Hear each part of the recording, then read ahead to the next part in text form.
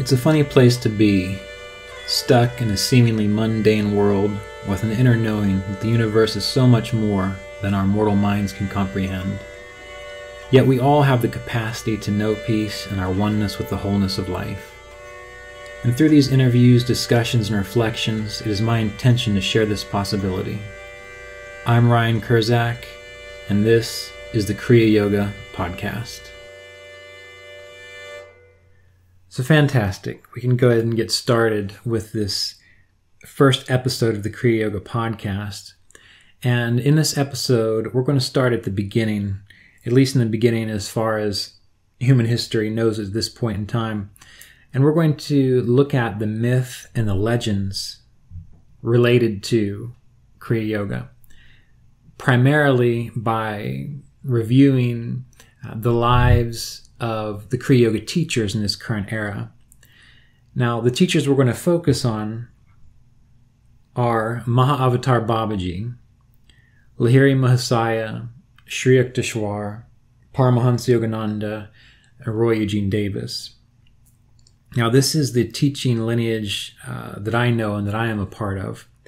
And there are branches to this, just like there's a family tree, because typically the way it's supposed to function, as far as I understand, is that when an individual has has learned to practice meditation well, has learned to embody uh, the life and the inner knowing of this idea of self realization, um, they're then able to share that knowledge with others. And so teachers have students. And in this lineage, this is going from one teacher to the next, but each of those teachers have had multiple students. So, for example, uh, Lahiri Mahasaya, his only student was not simply Sri Yukteswar. Uh, he had other students which were also authorized to teach Kriya Yoga. And just like Sri Yukteswar had other students than Paramahansa Yogananda, Paramahansa Yogananda had other students than uh, Roy Eugene Davis. And Roy Eugene Davis has ordained many ministers through his organization, Center for Spiritual Awareness, while he was alive, to also teach and share this information. So we need to keep in mind that while we're focusing on this particular line of the lineage, um, that this is really more so a, a family tree than anything else, uh, peripherally in the bigger picture. And the reason I, I use the term myth and legend is because the beginning of this tradition, in regards to how it was shared with the public, essentially began with Paramahansa Yogananda coming to the West and the writing of his book, Autobiography of a Yogi. And in that book, he speaks of Mahavatar Babaji and all the wondrous things that Mahavatar Babaji is able to do and what he shared with his student Lahiri Mahasaya. Um, it's good to understand these myths, it's good to understand these legends because it helps to give us the capacity to outgrow our normal, limited human mind, essentially. So we're going to begin with Mahavatar Babaji. Now, Babaji, the name itself, Babaji, Baba means father, and Ji at the end, uh, that denotes reverence or respect. So Babaji is said to be an illumined master whose name means the Reverend Father or Holy Father. Now, little is known about Babaji, again, beyond what has been written in Autobiography of a Yogi. Now, several people throughout time since then have talked about meeting Babaji, having experiences with Babaji. Um, I have not gone too deeply into exploring those things. So whether they are true or not, I cannot say. However, I do remember Mr. Davis at a retreat one time discussing how Paramahansa Yogananda himself said that um, after he passed, he would not engage in things like channeling or coming through channels or mediums and psychics and these sorts of things. And Mr. Davis had told this story how not very long after uh, Paramahansa Yogananda had passed, a few years after he had passed, uh, Mr. Davis was teaching Kriya Yoga, and someone came up to him and told him that they have someone they'd like him to meet. And the way it all kind of shook out was he eventually went and met this person, and they said that they were channeling Paramahansa Yogananda, and Paramahansa Yogananda had messages for him, if I recall the story correctly. And Roy recalled Paramahansa Yogananda saying that he would not do that. So we always have to be cautious when we hear stories of having experiences with divine masters who are past. Um, so keep this in mind as we proceed. But it is important to understand the history of where Babaji fits in this whole process. So Babaji, he began the reintroduction of Kriya Yoga. Um, Babaji is said to work behind the scenes. He's not interested in being well known, in having large followings. The idea is that the clarity of his consciousness, he meditates, exists to infuse that into planetary consciousness. And this is a very important thing to keep in mind because the greatest yogi in this tradition, as far as we understand it, is Mahavatar Babaji. And it is his intention to work behind the scenes to uplift humanity and human consciousness. And he does that by existing in the state of clarity, in the clearest state that he is able to. And this is important because it is a is an example for all of us to recognize that by attending to our own meditation, to our own inner peace and well-being and understanding of how we are the wholeness of life and are connected to the wholeness of life, that that is profoundly transformational. I can remember reading about a sage whom you may have heard of, Ramana Maharshi, who was asked one time why he was not more active in the world uh, in the way Gandhi was more active in the world with social justice and um, taking upon himself the duties of trying to change society through various kinds of activity in the world. And Ramana Maharshi said, "Well, how do you how do you know I'm not being helpful in this regard? How do you know I'm not acting like Gandhi is acting? And many people misunderstood that. But again, what he was trying to share was that by simply doing his best, and he didn't really have to do his best, it was just innate and natural to him to embody that state of clarity, state of self realization that yoga is meant to engender in us, that that changes the world. That changes the planet. And if you're perceptive, you'll notice that. That the clearer you get, the calmer you get when you're in family situations that are tense, when you're in work situations that are difficult, when you are in any kind of situation where there's something problematic happening, uh, your inner peace and calm assists the resolution of that situation. And that, that is the most important service that we all have to render in this world. So Babaji is an excellent example of that by being such a profound figure in this tradition and choosing to work behind the scenes to focus on clarifying consciousness internally rather than directing it uh, in some form of um, external activity. So Babaji's role is to inspire people who are actively nurturing planetary consciousness and uplifting humanity and ministering directly to seekers on the spiritual path. And so there will be times when you have moments of clarity, moments of extreme well being when you're meditating, where you just understand certain things. And the myth and the legend would indicate that it may be that this is a type of interaction with Babaji. You know, I can remember a particular meditation session where I was simply sitting as I did every day, and most of my meditations are not very profound in the sense of fantastic things happening. But I can remember this particular session where I was sitting there and I was just gazing off into the distance of my closed eyelids as though the blackness of my uh, my closed eyes was an infinite space. And as everything got calm and as I was able to forget about my little sense of self, this radiant light appeared. And I remember seeing an image of, of a brilliant figure.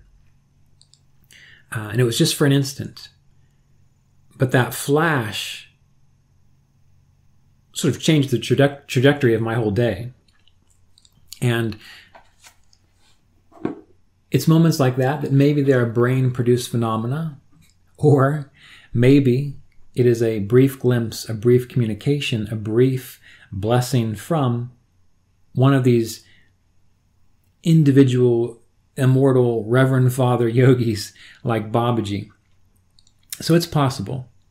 Uh, but Babaji is acknowledged as the, as the spiritual head of the current Kriya Yoga tradition. However, we need to remember that Babaji is not limited to this particular enlightenment tradition. No great teachers are really limited to any particular tradition. Um, we just say that we are related to the Kriya Yoga tradition and so on, just to kind of make it easier for filing away concepts in our mind. But Babaji is not limited to any particular Enlightenment movement in the same way that the idea of the Christ consciousness is not limited simply to Christianity. When we dig deep, when we dig deep into most authentic spiritual traditions, we will find that the principles, the methodologies, the states of consciousness that one arrives at, should they apply those practices of the tradition, it tends to result in the same kind of clarity of consciousness. Uh, so Babaji is simply a conduit for this particular Kriya Yoga tradition. Now, it's said that Babaji has been in his present form for several centuries. Um, he's also been known by different names in different times and places. Swami Kebalananda, who was a disciple of Lahiri Mahasaya, um, he was told that Babaji had even initiated Shankara, and Shankara lived over a thousand years earlier. Now, Lahiri mentioned that, or at least he had told a few disciples, that he had remembered a previous incarnation when he was known as Kabir. Kabir.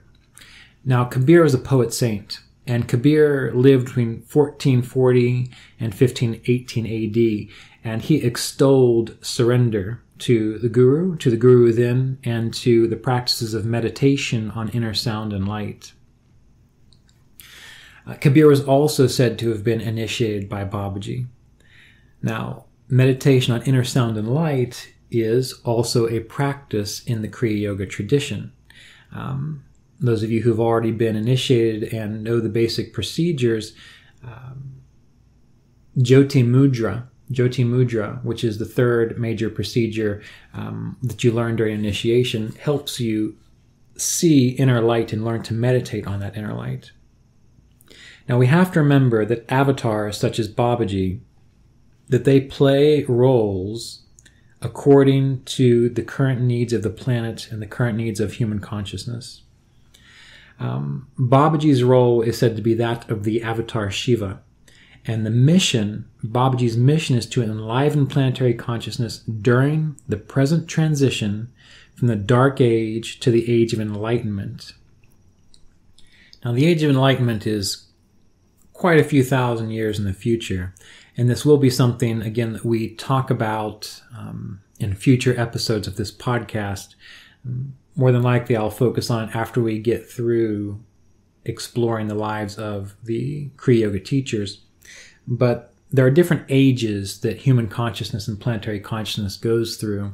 And this is spoken of in Sri Yukteswar's book, The Holy Science.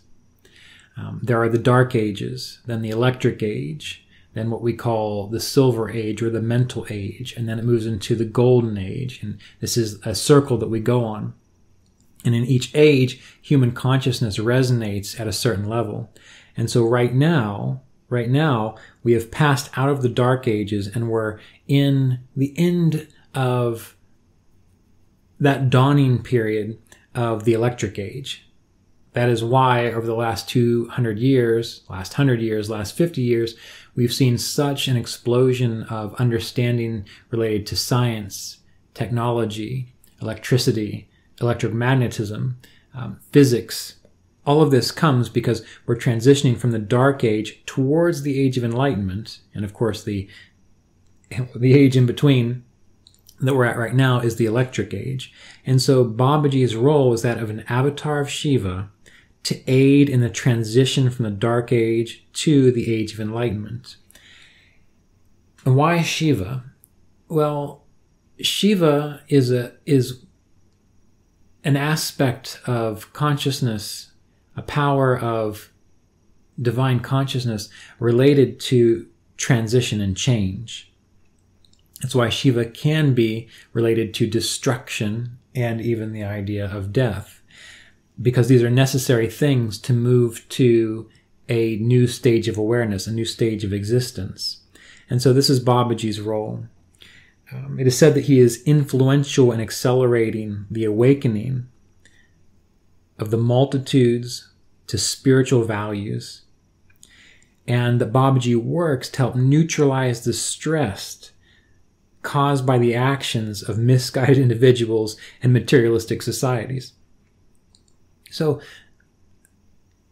when you are identified with the small self, the little ego, all you tend to think about is what are you going to eat? Who's taking your food?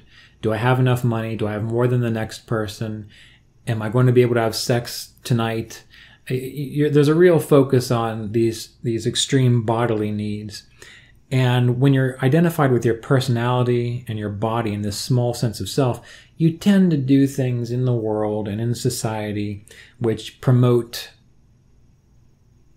stress, which promote difficulty because you can't see the bigger picture. So Babaji's role is to help neutralize that stress of those who can't quite see the bigger picture just yet. So he's here to assist evolutionary trends so they can continue on a steady course.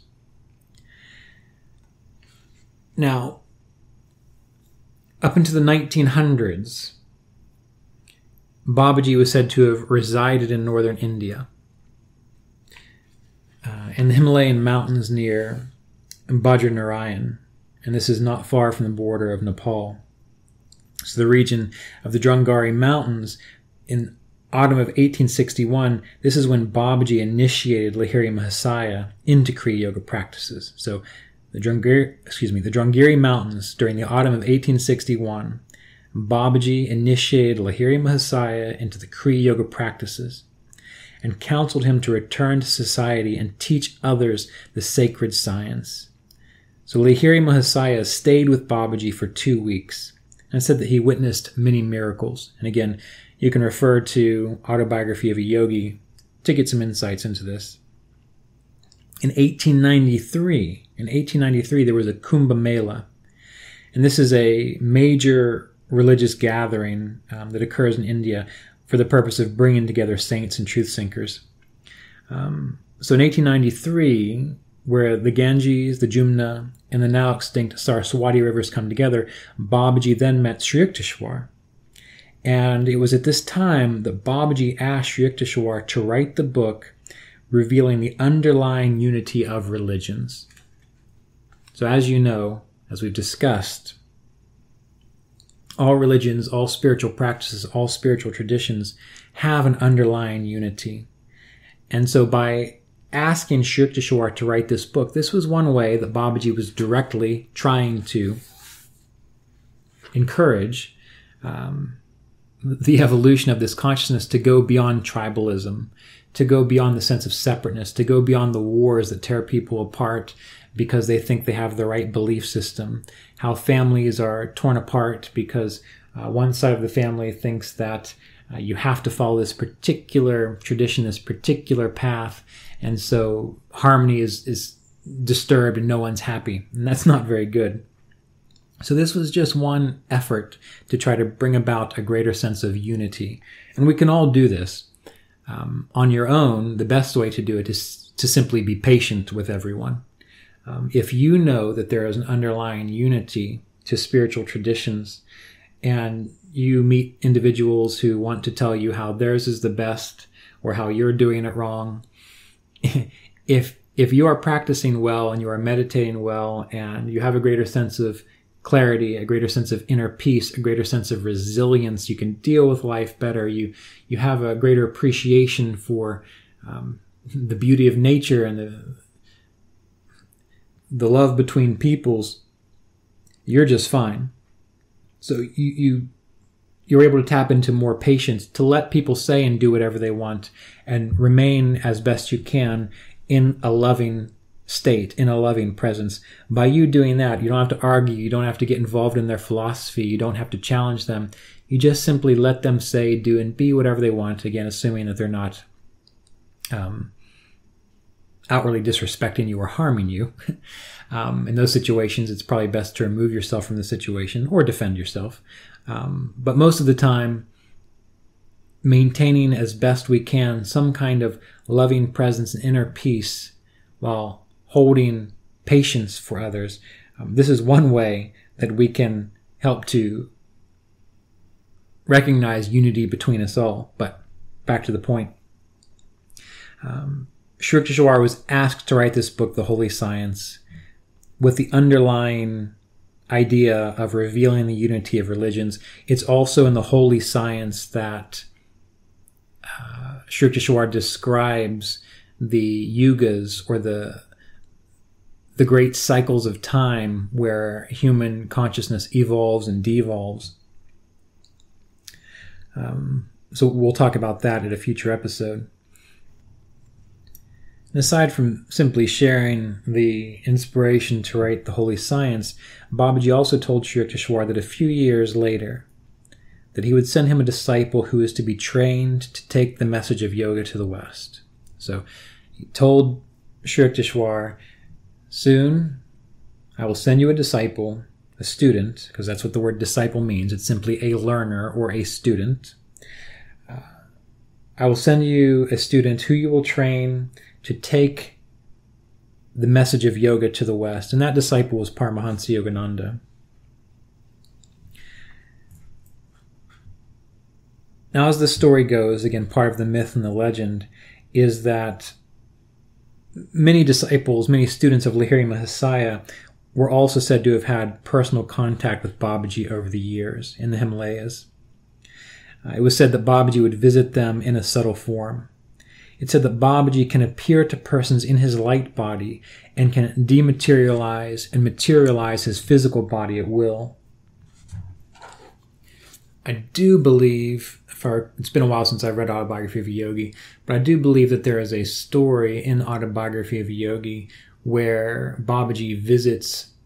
I am pretty sure it was Sri Yukteswar again, um, and he he materialized out of uh, beams of sunlight, and essentially, Babaji says that Sri Yukteswar was able to see him because his mind was quiet enough to go beyond all the distractions, all the noise, to, to allow the ability to perceive Babaji's form,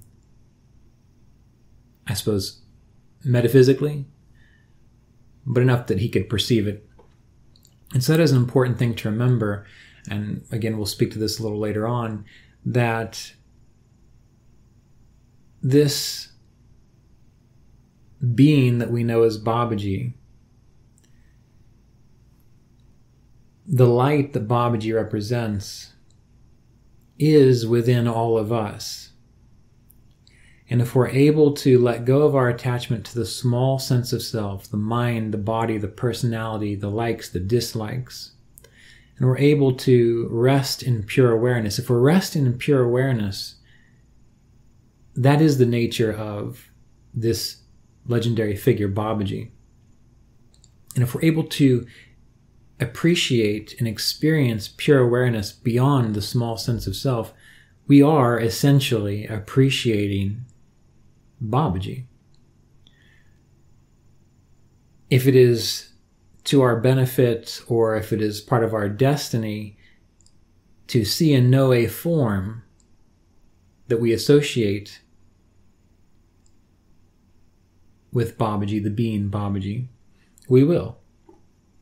If we're not meant to do that, if we're simply destined to learn to appreciate and exist in pure awareness, pure consciousness, pure being, that is the same thing.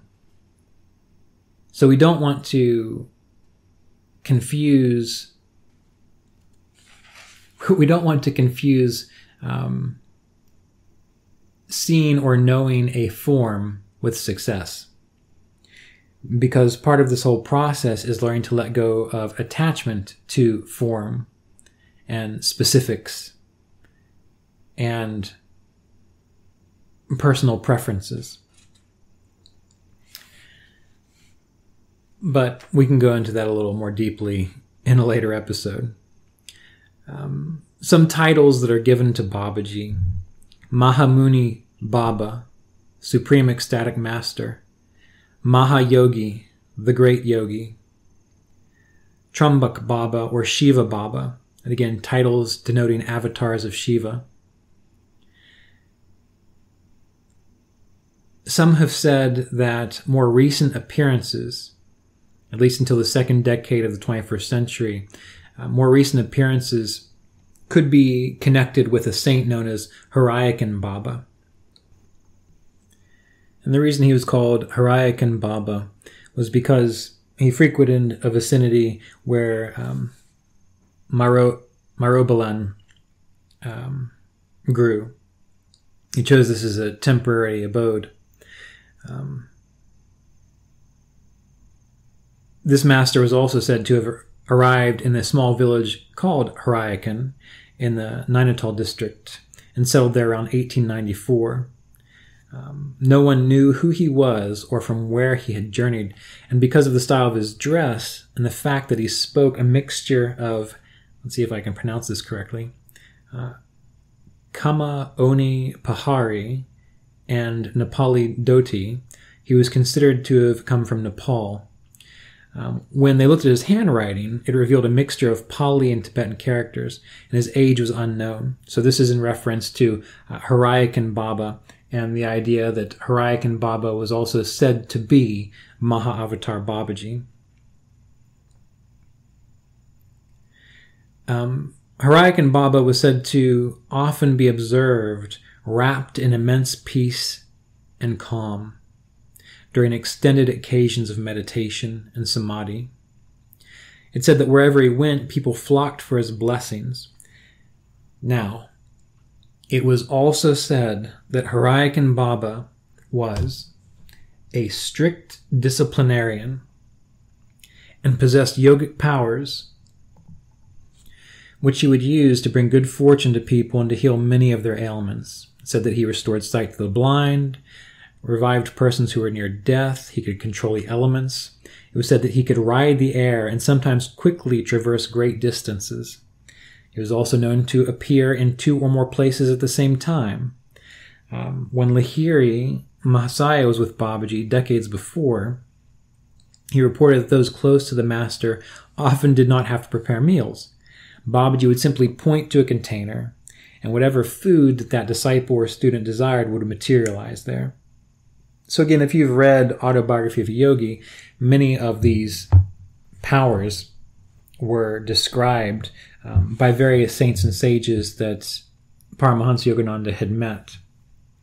Um, Hariakhan Baba encouraged public ceremonies for the welfare of people so that they could have harmonious relationships with the forces of nature. Now, this is important because uh, many of you know that I am a Vedic astrologer, or have been a Vedic astrologer, and Sri Yukteswar was a Vedic astrologer. And in my mind, the current state of Vedic astrology is not quite um, I would say it's more Dark Age astrology because currently Vedic astrology, like most astrology, seems to be practiced to speak to the personality in the individual. And astrology, from what I can gather and my own inner meditations, contemplations, leads me to believe that the original astrology wasn't meant to have someone tell you all about your fortunes and your finances and your future and who you're going to marry and so on. It was meant to help individuals live in harmony with the forces of nature while they're here in this body, in this world. So that's why you would use astrology to figure out is it a good time to plant? Is it a good time to commit to another individual? Is it another is it a good time to perform this deed? Why? Because you want to know if the cosmic weather patterns are appropriate for that particular action. And as you know, it's better to plant seeds and fruits when nature is supportive of them growing well. You don't go and plant seeds and fruits in the harshest winter when you know they're not going to grow and the seeds are just going to freeze and die. So, having ceremonies and even festivals, um, holidays, many of these were meant to keep keep us in harmony with the forces of nature, so that we can live the the best life possible here in this world while we have a human body because this human body is built of the forces of nature is fed by the sun ultimately is nourished by the waters of the planet. So having ceremonies which encourage people to be in harmonious relationship with the forces of nature this is a good thing um, if a student would ask for help in a personal problem um, the saint would say, Your wish will be fulfilled if you sincerely rely upon God. So, again, despite these powers that were listed here of this um, person associated, related to, said to be Mahavatar Babaji, there was not a focus on the powers. There was a focus on sincerely relying upon that inner grace. Now, before leaving the area, and this was during the early years of the second decade of the 20th century. Uh, Hariakhan Baba toured several of the Himalayan areas, and he concluded his travels at the border town, uh, again, hopefully I'll pronounce this correctly, of Escote. Maybe it's Escote, but I think it's probably Escote. Um, he bid farewell to those who accompanied him, and he crossed over the river to Nepal. Now, while in the Himalayas, he established several ashrams, which are said to be used to this day, and some of some of them are located in Kathgharia, Shitlakhet, and Nainital. Now, I don't have a copy of Mahavatar Babaji and the Garden of Faith with me. I'll have to dig that up. But anyway, at at Babaji's physical departure again, Hariakhan Baba as Babaji, there's that connection there. At his physical departure, um, it was said that he was occasionally seen in his subtle form and moving as a mass of light during special public holidays and occasions. Lahiri Mahasaya Yukteswar Paramahansa Yogananda would tell students not to try to travel to the Himalayas to attempt to meet Babaji, but to deepen their meditation and learn to commune with him on inner levels of awareness. It's said of Babaji's protective influence. Um, Paramahansa Yogananda told disciples that if they were faithful to their spiritual practices, when they made their transition, Babaji or at least one of the gurus or teachers in the lineage would be present to usher them into the infinite. This is very important. With our own spiritual practice, we don't want to get hung up on a physical form or ideal of a teacher's body, mind, or personality. That body, mind, of personality in time and space is there to assist us while we are also in this mind body personality situation. It's to assist us to recognize our own inner, eternal, immortal, timeless essence. Now, the reason it's said that if we are attentive to our spiritual practices, that we will be ushered into the in, infinite um, at our transition. Well, it's because if we are attentive to our own spiritual practices, we are growing accustomed to recognizing that we are not the mind, the body, that we are an infinite, eternal, timeless being that is shared by all people, by all enlightened masters. And that if we can recognize that now, then when it's time to leave the body, no big deal. We can let it go and we can flow our awareness into a state that is free of attachment to this form that rises and falls, the form that was born, the form that will die, the body that was born, the body that will die. And it reminds me again, you've heard me tell this if you've um, listened to any of my other lectures, it reminds me again of the story that Roy Davis told, and I believe it was at the very first Kriya Yoga Congress in San Jose, California. Maybe that was 2007. It's been a while, I don't remember. Um, but someone had sent him a question asking, How can I know that at the time of transition, when I leave my body, that I will be awake, that I will be free, that I will merge in God and divine consciousness? And again, there's the idea that if an individual who practices yoga brings their awareness up to the crown chakra or the spiritual eye center at the time of departure, transition from the body, that they will be released into um, free and clear awareness. And what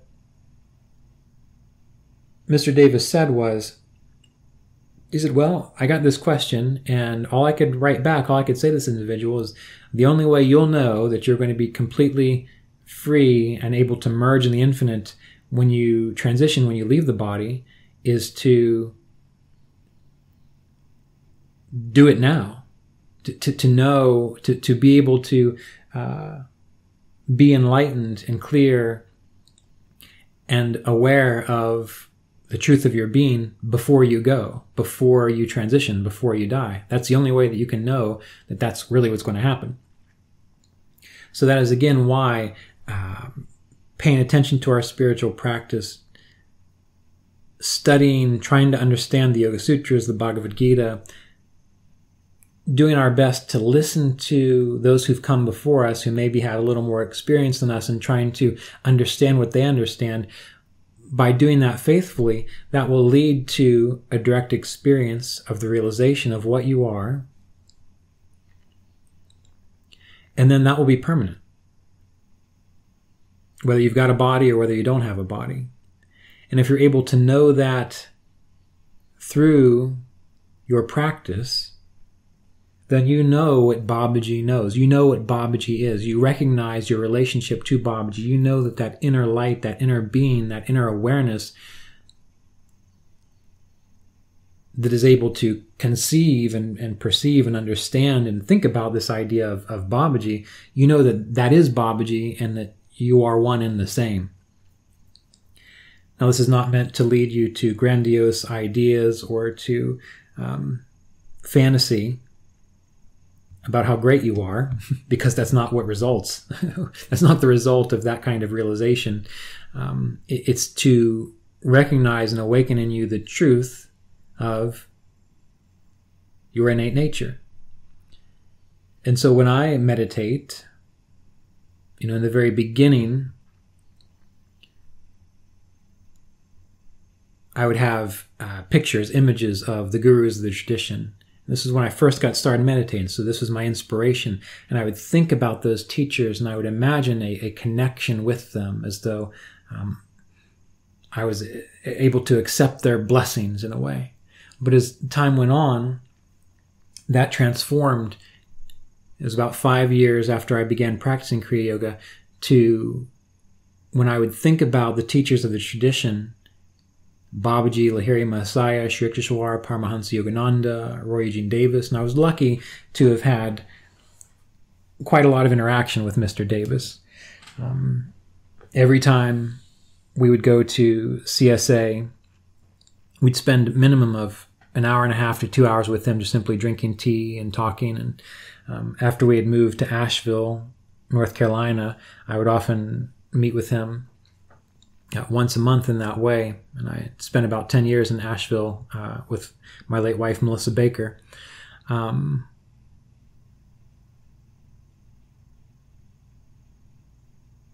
but what I would do in, in, before I would I would get deeply into meditation is I would hold in my mind the sense that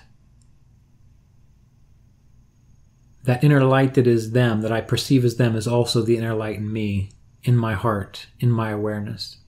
And I would let that set the tone for the meditation practice. That was my way of attuning to this lineage. And when I see people in the world uh, I do my best, no matter who they are, whether I like them or I don't like them, whether they're um, pleasant to be around or unpleasant to be around. I do my best at some point in time to see that same light in them because it is in them, whether they're aware of it or not. So this is this is how we can, without fantasy and with great benefit, learn to attune to the gurus of this tradition. I'll probably bring this up over and over again because it's something I, I don't think can be said enough. Um, but anyway, I think this is enough digging into the legend and myth of Kriya Yoga at the moment, uh, looking at the life of Mahavatar Babaji, the little we do know. Uh, in our next episode, we'll explore, consider the life of Lahiri Mahasaya a student of Mahavatar Babaji and teacher to Sri Yukteswar.